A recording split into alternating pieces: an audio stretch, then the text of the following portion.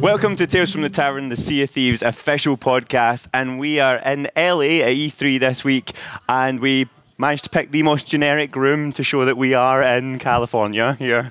uh, and I've got some of the team with me here who are like you guys have been doing lots of uh, press. Uh, behind closed doors, like in this in this room. very room. We have. In this This, very is the behind closed doors area. Yep. So we're gonna go around. Let's start from the right and introduce people who are listening rather than watching here. Shelley Preston, senior designer. Uh, Joe Neate, executive producer.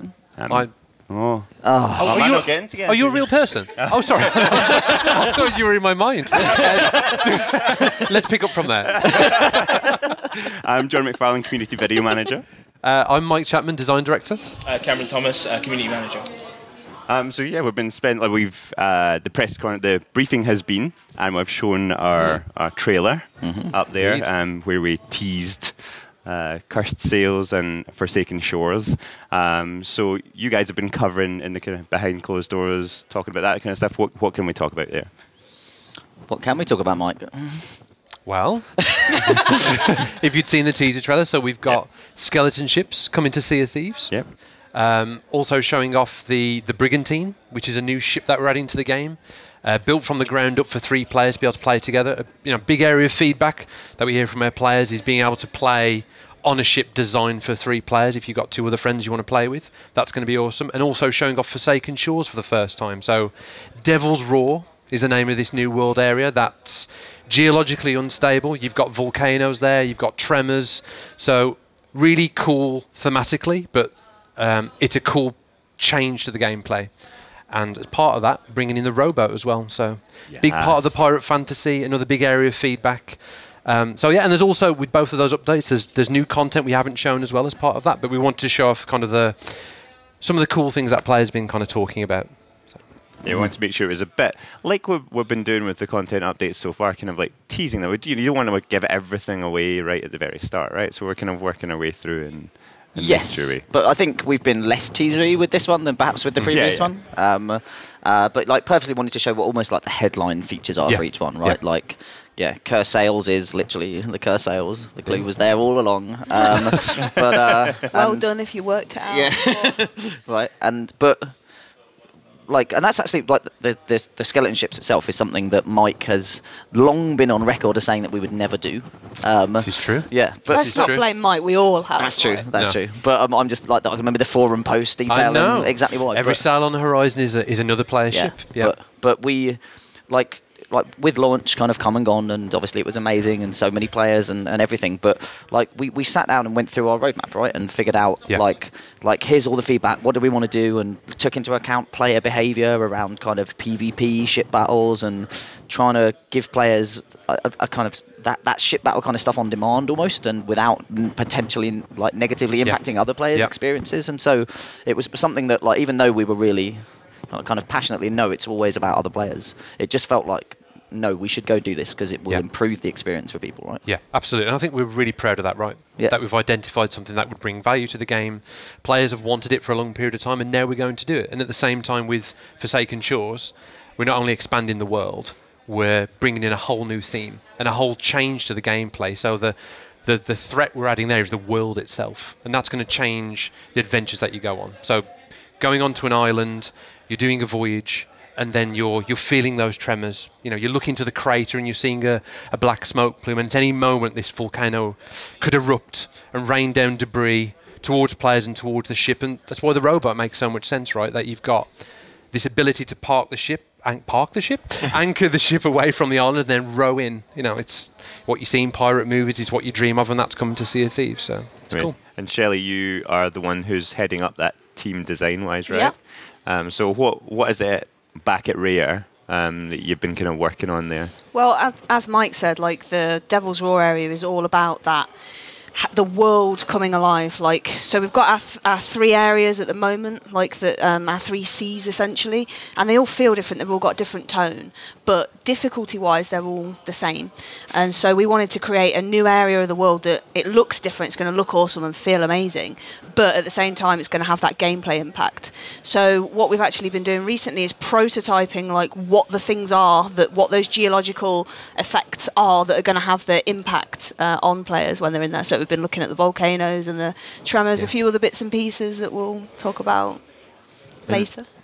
And talking about, obviously, we have like everyone's been, kind of been caught up in E3 at the moment, but the game is still churning away back back at uh, Rare, Yes. and we have had the Hungering Deep. Like we haven't done a podcast since the Hungering Deep launched, and right. for that, that's been like it's been amazing to see the reaction to that online and It's been and, incredible, hasn't it? um, some Yeah. of the, the positive reactions around it. It's like I think that kind of reinforced some of the things that we were trying to test out there, wasn't it? About the kind of positive interaction between crews. Um, and it'll be interesting to see how we how we like move on, like move forward with that in future updates. Yeah. Well, I think it's something that we can like the wanting to make a, um, a crew or have to basically crew up with another crew was like was a was a risk. It was like something we wanted to try. We wanted to see how players would react to that, and the reaction's just been like phenomenal. It's like beyond what we hoped for. That how players have like taken that. That, aspect and really just everybody just loves it right like you go to Shark Sharkbait Cove and it's full of ships all talking to each other all wanting you to come on the adventure and I think like for Cursed Sails that's another like thing for that Yeah. for the for this, these skeleton ships we'll definitely be looking at ways that people can crew up together to take on the skeleton Yeah. Ships because it's been something they've really loved to see that kind of social side of the Hungering Deep resonate so much. I think it surpassed even our wildest expectations. That you know we're we're naturally going to want to see the good in players and hope that you know they use the tools in a certain way and en- enriches the game. And the fact that we brought in the speaking trumpet and the whole quest line around uh, multiple crews in the world teaming up to take down the megalodon, I think you know you can kind of, we balance that like assuming there'd be like two or three galleons there but the fact that you've had even more than that and we see those epic screenshots of four five six galleons and, and sloops kind of like parked up near the parked up what am i saying? Anchored up near the megalodon. You probably Um, got that from me. I keep saying I that know, recently. yeah, um, you know, having that epic encounter, I think that that is so cool. So that's that's something we've always talked about, like bringing different types of encounters um, between players in the world, in this shared world, and to see, you know, a few months after launch, that was kind of a big showcase of Hungering Deep, and to see that side of it land so well, and Sharkbait Cove becoming this like social meeting place for players to embark on this adventure, that is so cool. And you know, at the same time, we're listening to feedback. I mean, one of the big areas of feedback we, you know, we've, we're, we're talking about this week is that players want more reasons to replay. Um, you know, the, these kind of campaigns and these time-limited quests. And I'm pretty much straight after, you know, the release of the Hungering Deep, we've got together and we're planning out Cursed Sails and what that kind of time-limited quests and rewards are going to be, and making sure that that's replayable. So for that period of time when you come in, we celebrate that content. Of course, skeleton ships and curse cannonballs and everything that's part of that update becomes a part of the world forever. Um, but we want to make sure that we have many ways that players can replay that content. Talking about cursed cannonballs, we've just done our first um, Bilge Rat adventure. We have um, indeed. which just uh, launched. It will be on Tuesday, um, which is tomorrow for us, Or but it- for you guys, it was or it might be on previously- Wednesday. Or it might be on Wednesday. Spoilers. Wednesday confirmed. Either way, how was this week? Yeah, it was touch. It was like basically there was there's there's a really new, like a, a complicated new part of this of um, the Bilge Rat Adventures, which is the actual Bilge Rat currency that Yeah. comes in as part of this, which is you earn a second currency that, that kind of goes along that you can spend on cosmetics. You can also contribute towards XP with existing um, companies, and so that uses our services, um, uh, um, which are kind of one of the most complex and complicated part of the whole uh, system. So you know I've been getting emails, and I think we got one just before this saying it's it's it's in, it's sorted, it's great, but it's going to be Wednesday. I think is the good when the um, uh, that goes out. Like we were striving for, for Tuesday, and we said the 12th. It looks like it's going to be the 13th, but we, we it felt it was such an important part of it. Um, so yeah, but but Shelley, again, you were, you've been the designer on Skeleton Thrones, right? Yeah, So yeah, it's been really fun. So we've like hidden these ten thrones around the Sea of Thieves in really interesting locations, and the first part of it is going to be trying to find these skeleton thrones. But then once you found them, like getting to them is going to be an interesting challenge. So you'll be firing yourselves out of cannons, and like some of them you need to sit in with another crew as well. So again, that social aspect of working together, like finding another crew, recruiting another crew, maybe using the speaking trumpet to get them to go and fire themselves up into a skeleton throne and have a sit down with you. Yeah. And it's going to last a couple of weeks. Yeah. As well, right? So, because we play tested it, didn't we? And we were like, like originally it was like we want this for a week, and then we were like, "That's- it's quite hard. we were struggling. and we, were like it though as a challenge, and it's going to be and- time and, we just want to give people Yeah. the opportunity to, you know, if they want to complete it, that Yeah. they can. Like, Yeah. give them enough time. So I think that's going to be something we're going to learn with these Bilge Rat adventures moving forward. Is like how long's the right amount of time? Yeah, them to last exactly. for. Like, like, are people going to get a chance? Because even now, today, like, like we've been meeting people. Like, we played Hungering Deep. No, not yet. And we're like, oh, Yeah. it's leaving on Tuesday. And they're like, no, please, longer. Um, you know, so uh, like with all of these, it's about learning, isn't it? Yeah. It's about take the feedback Indeed. and you know. And I think even the Hungering Deep has been fantastic from that social kind of um, ex- experiment behaviour about can we get crews to come together and behave positively. And uh, Ted actually sent me some data from the BI team today, like which was that like PvP encounters kind of halved. Like basically the game become became twice as friendly um, during the Hungering Deep in terms of like ship encounters that didn't end in combat. Like like like which is incredible, right? Like literally the, like the, it halved. Um, but you could feel that Yes. playing it. Yeah. Like you literally went in and it- it felt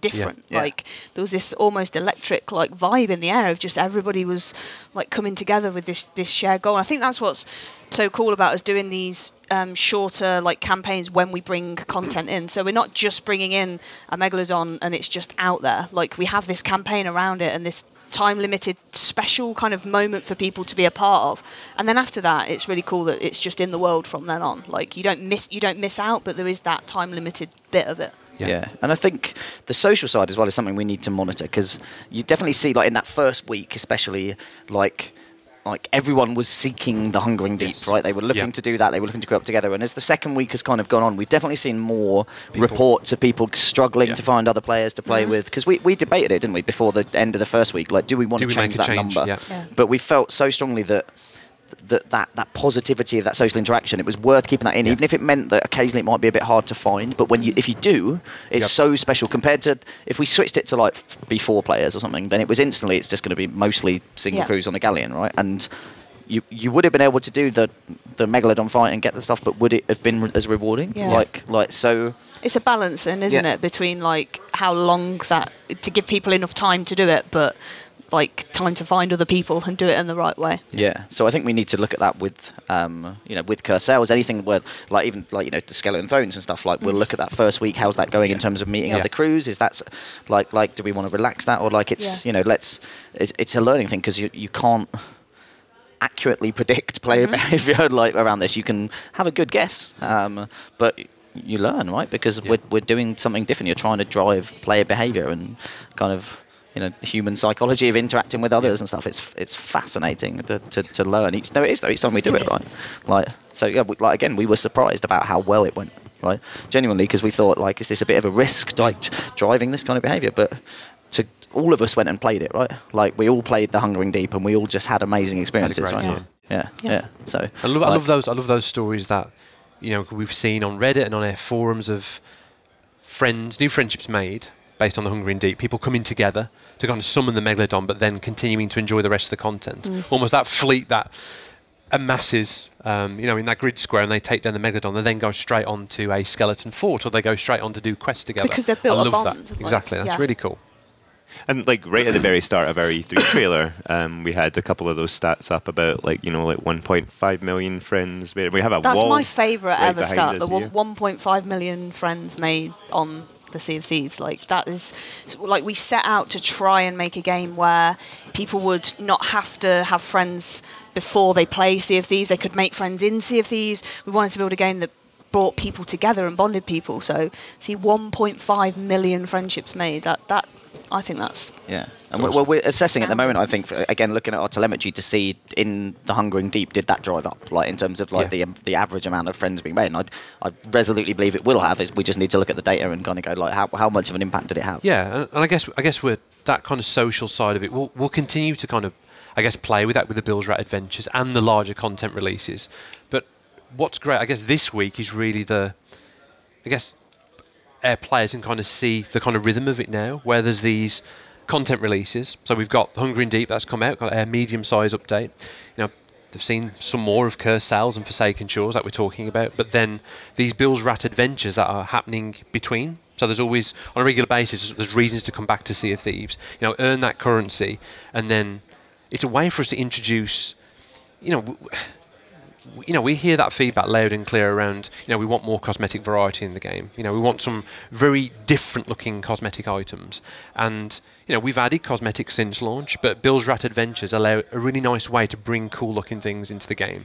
So as part of the Skeleton Thrones, there's, you know, there's these awesome looking cosmetics, the, you know, the skeleton cosmetics that I think players are really going to love. But also, you know, we've got the letters of recommendation in there. So these are effectively the Bilge Rats bribing the trading company. So if you earn their currency, you can buy these letters of recommendation in your chosen trading company and earn that little bit of progress. So the way you can fast track your progress in those trading companies. And you can also spend your Bilge Rats doubloons on gold bags. So there's little ways you can fast track your progress as well as well as getting these unique cosmetics. And the Bilge Rat Adventures allow us to showcase, I guess, kind of like more like smaller mechanic ideas. So it's not showcasing existing content. It's these new little things that we add to the game, and we can showcase them as part of these Bilge Rat adventures, and just have this constant addition of new cosmetics and things to go earn in the game. So. I didn't realise they were called letters of No, recommendation. neither did I. That was That's news to me. Mm-hmm. So there's Like, yeah, I'm just like, yeah. a letter of golden Like recommendation, which is a letter of mystical commendation, and a of recommendation, a letter of formal recommendation. There you go. Yeah. But that's it. I like I like it. Yeah. Well, that's what it wraps it up. I'm I'm in. I'm sold. Good. And- Good. It's a good job, isn't it? 'Cause it's live. Hold the patch. And um, so we don't have a ton of time for this podcast because Yeah. you get interviews to do after this, so we're just kind of squeezed it in in the middle. Uh, but we do want to get some questions from Okay. people from the community because we did ask Twitter Yeah. and we want to get some. Now you've got some there, Nice. and I've got some, so you can jump on first, Cameron, and see what you've got. And I'll scroll through while you're. Cool. Um, so we have one um, for for uh, uh, Jace the Fox on Twitter. Um, he says, "Ahoy! Uh, do you have uh, more content planned past the last fall uh, slash winter mark on the content treasure map?" the last. Where would that be? The last fall slash winter, as in. That is. Does that mean like the next three for this year? Like what's in those kind of thing? Right. Okay. Yeah. Yeah, yeah, I think so. Yeah. Right, yeah. yeah. Yeah. So, so we do like so the the team that was on the Hungering Deep is already on to the fourth one, Yep. right? And we've it's got Yep. a name, hasn't it? It has got a It name. has got a name, yeah. So yeah, it's gonna be cool to talk more about that in the future. But yeah, it has a name, and the team has started prototyping. Right? So Yeah. they've uh, they've been to prototype some the new things we're looking at there. But that's that's after Forsaken Shores. yeah. And it rhymes with what does it rhyme with? Full snails. There you go. that is sounds, sounds like you've given the game away. But Hmm. but maybe that's what it is. maybe that's what it is because it is coming in full. Yeah. And we've always talked about new threats. new threats. yeah, yeah. Giant snail. Maybe the snails just It's not a shell; it's a treasure chest on the back. Just Yeah. Yeah. But um, that little little CFTs. I'm, I'm really a embarrassed. that moment of madness on the podcast. this is an exclusive. That's what three hours of sleep does to you.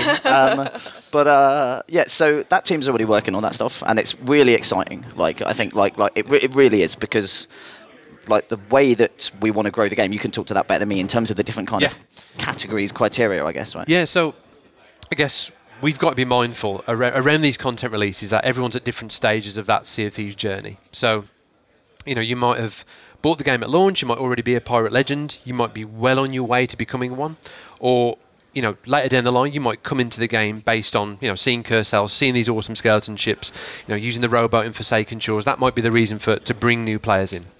So we've got to expand the game kind of intentfully across a number of areas. So we kind of break it down into the following. So there's there's ways to play, which is inclusive of uh, I guess new quest types uh, and new ways to enjoy the content um, with your crew. So an example of that would be the Brigantine ship. A new way that you can play with two other players, so a three-player ship, you know, built for the ground up for that crew size. And then we've got goals. So it's important that we bring in goals for everyone. Right now, that's our focus. That's where we're seeing the kind of the resounding area of feedback is new goals to aspire to. But we also need to be mindful that more and more players are reaching Pirate Legend. So they're going to need more goals, more things to aspire to as part of that. And then the last part is really what we call the journey, which is, I guess, for some time what we've always described as you know the heart of Sea of Thieves, the big tools and small tools and threats that when you're out there on a quest, these are the things that happen emergently and make each session that you have feel different. So we're obviously bringing in the rowboat as part of Forsaken Shores, and that would be an example of a big tool. So that, that would be your reaction. that would be um, not only something that makes sense in terms of Forsaken Shores, it's also going to bring value to the whole game. So you think about what the rowboat's going to bring to the game. You've got that whole gameplay of anchoring the ship away from these um, volcanic eruptions and rowing your way in to kind of complete what you're trying to complete, but also having the rowboat's going to enrich all of your adventures in the Sea of Thieves. So if you're a solo player, for example, and you typically play that way, having the robot means that you can make one back and forth to the island, filling it up of chests and schools, whatever you're, wherever you're after, and then making one journey back to the ship, avoiding sharks along the way. And all the kind of emergent things you can imagine um, that players will use their own creativity, you know, loading it with gunpowder kegs, you know, maybe using it to take down the skeleton ships. There's going to be um, lots of ways that you know we can't predict right now how players are going to use that content. And then the smaller tools, which is things like the speaking trumpet that's you know landed so well in terms of the social interactions between players, things like the drum. So we're going to be. It, it's important that we expand the, the game across all of those areas. So that whole that's kind of the landscape of the game, and all of that's going to get richer. You know, a little bit with Hungering Deep, and then increasingly so with Cursed Sails, Forsaken Shores, and then the content updates, the three more that are coming this year. Yeah, and just to wrap up on that question, f- and we're spinning up a fourth team that's Yeah. kind of going to be ready Yeah. to go in start of July, and they're going to be taking kind of the end of year update. Yes. So they've got kind of a five month lead time to get Yeah. to that. With the Cursed Sails team, we'll move on to kind of our fifth update. I think. That's right. And so yeah, and Do you want to do a just- rhyme in? Um, That, that one's a little tougher. That is a, that one's a- that one's a little tougher. that's a low. But um, and, and it, like, yeah, that, it will give it away completely. I think. but um, uh, but uh, yeah, so like we're into we're into that rhythm, right? And um, it's it's exciting, isn't it? It's Yeah. like it really is like that. I love the kickoff processes with those teams and like trying to figure out how much stuff we can get into Yeah. each update and what works together and stuff. So yeah, Mm. but I know we're conscious we're, we're tight for time and we took about five minutes answering that one. So uh, yeah. Um, I've got one here from Action Section on Twitter who says, "Where do you get your story ideas from for like the Hungering Deep, etc.?" That's interesting. I mean, it it's a as in well, the question was story ideas. Story, the- yeah, the- yeah, the the, quest the kind of and- yeah, I lore that- based yeah. stuff. that that's actually the absolutely awesome part of the process when we kind of come together and it's quite an intentful part of how we're going to add content to the game around not just you know put, putting these bunch of features into a patch note and just releasing it to the world. It's about giving people a tour of the content and setting it up in the right context. So the idea of like bringing Merrick in and celebrating the fact that you know we're adding a drum and the drum being used to summon the megalodon and speaking trumpet being a big part of how crews come together. I mean it's really just like kind of looking at the content and, and trying to weave a tale and introduce that content that makes sense in Sea of Thieves. It's something we've always talked about. How can we introduce content in the game and have it feel at home in the Sea of Thieves world? And it's really just like a, a bunch of us getting together and kind of brainstorming ideas of like what's the right way to celebrate the things that we're adding. And you know, we, we did that with Hungering Deep. It was great to see it resonate so well, but that's exactly what we've done with the Cursed Sails and inclusive of all the feedback that we've had on Hungering Deep. You know, how can we explain the reason, like where have these skeleton ships come from? Now, the fact that they're going to bring these cursed cannonballs to the world, and that's part of the story that we're going to continue to tell in Sea of Thieves, like ways that you know it makes sense of where where where, where these things have come from in the world, and that's something we'll continue to explore with, with the Yeah. updates. coming. It's a really collaborative process as well, though, because like, like obviously from a design perspective, you come up with this quest and this vision, and then but then from a video perspective, like yourself and the rest of the video team go and look at what we're planning to bring in, and then come and pitch almost, hey, here's what we should do as a teaser, right? That, that kind of sets the scene for this, um, and we bounce that around and stuff, and like it's like so, yeah. Everybody, a lot of people contribute to that, like that Yeah. lore, right, and that story, and that how we sell that to people, because I, yeah. It's, it's a really interesting process because sometimes what we think of from the video perspective will inform some of the things you do in the game. Yeah. And then likewise, like obviously we're looking and as things change and stuff, like we're kind of looking at how do we tweak that and like how do we get that into the trailer to try and make it as like a like kind of background clue as to what's going to happen. And I think people got really attached to Merrick, like they really enjoyed it's like, him as It's a great. character, and it's like And and the crab. and the crab. So and I think, with I think the you, the video trailer, team, are really keen on getting crabs in. we, aren't we you? love the crab. Yeah. Like, so. but uh, We'll look at it. It- It's really cool though because I think like um, again just thinking about how. Um, yeah, so thinking like how that um, the campaign's sort of like changing the way the community is interacting with each other. Um, again, like the way that we've sort of been like promoting them and advertising them, and you know, seeding that information to the community, um, and getting the speculation going on the lore and everything. Because I think that you know, it's like every. Um, I remember sort of like at launch, people were talking about, oh, you know, like finding interesting things in the world, etc. Um, and us sort of like fe- feeding them a trailer um, that has a that has you know has has Merrick and everything like that. Right, up. Right up. All right. Okay. Well, so um, yeah, so us giving them a trailer that has you know Merrick and you know he's explaining some you know some lore in the world, etc. Um, is you know it's getting people really excited and a lot of speculation on Reddit and our forums, etc. So I, I found it really interesting that you know going forward, um, you know. The way that we're, we're, we're giving information out to the community is just changing how they're all talking to each other and interacting and socializing. So, Love. What announced feature are you guys most looking forward to seeing implemented? Uh, unless you want to leak a feature or two. Oh no, don't stop. Go me. to Mike to leak a no, feature. no, no, No, come Um, on. I'm doing well. I'm, I'm doing well. really looking forward to the rowboat because I think we're going to see some really interesting just ways that people are going to use that in ways that we've like not predicted. I Mm. think it's going to be really cool. It's the snails for me. Yeah. Oh, the cannibals. Snails and Snails. cannibals. Yeah. Like I should have said the snails. I'd, I'd, I'd, I'd say the the cursed cannonballs. Cursed I think snails. the, the, the cursed snails. Uh, no, no, cursed cannonballs. I, I, I love I love it when we're try, we're pushing more on the fantastical elements of Sea of Thieves and bringing in that kind of magical version of the cannonballs. I think it'll add a whole new dimension to ship encounters, and obviously your battles against skeleton ships. So looking forward to that. Did we get? Is the mutiny ball on that list, or is it not? Mm. Did we not do it? No, no, you want that. come in, come. give it time. Give it time. We're always listening to player feedback, That's- and that's you true. count as a player. So You are a player I'll as well. submit my. I'll submit my vote on the forum. Right, if we had 60 seconds, what's the question? uh, okay. So, any chance of letting the megalodon loose on the on the whole map to attack randomly like the kraken? Yes. yes, there you go. yeah. Next. But I think I think uh, confirmed. let me waffle. For no, no. I think the thing we want to do different with the megalodon is make it feel more like, um, you know, this this wildlife in the world. So rather than it just uh, attacking just mysteriously, the sense of someone can spot it, like this, the fin kind of break the waves and emerge out of the water, and it may not attack you. Just seeing it around the world, and you know, you might have that trigger happy crew member on the on the galleon who So might it's to you know, it. and, yeah, yeah, and then it, it turns and attacks you. But I think that's our approach with it. it it's something that enriches the journey. So you're out there, you know, on quests, and you might encounter the megalodon. But rather than it just being something that attacks mercilessly, it, which it may do, um, sometimes you can just see it in the world, and it may not attack you. Cool. Sweet. Well, Sounds to round this up, um, before the PR team come in and like scream at us, uh, thank you very much for tuning in, and we will get back to having like a full length podcast when we get back to the studio. But keep uh, your eyes tuned on our YouTube channels, our social channels. Your because eyes He's tuned. Just like Ears beep, beep, tuned. beep, beep, beep, beep. ears tuned, eyes eyes peeled. Eyes peeled, that's Um, on our YouTube channel and our um, our Twitter. You've, you've thrown me all off. Well, if you'd got it right. You could have just let it slide, let YouTube pick up on it and comment on it all the way down.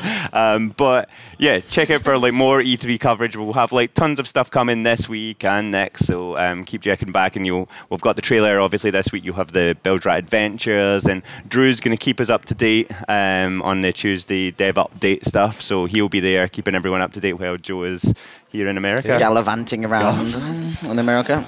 And uh, and then unfortunately, the next time is going to be back under the table. So I won't get to show these uh, again, but it's, uh, that was really weird. Is that really how you But- want to end? yeah. I want to end Right. on a high. make that into a GIF. Yeah. Um, Yeah. Uh, so thank you very much for watching, and yeah, stay tuned. John, you didn't nail it. oh. burn. Bye.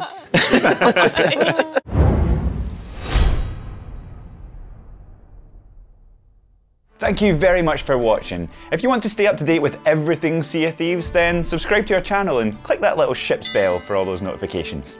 Cheers. Don't worry, I'll, I'll just wait here. I'm not doing, not doing much anyway. Couple of, couple of good videos there if you want to watch.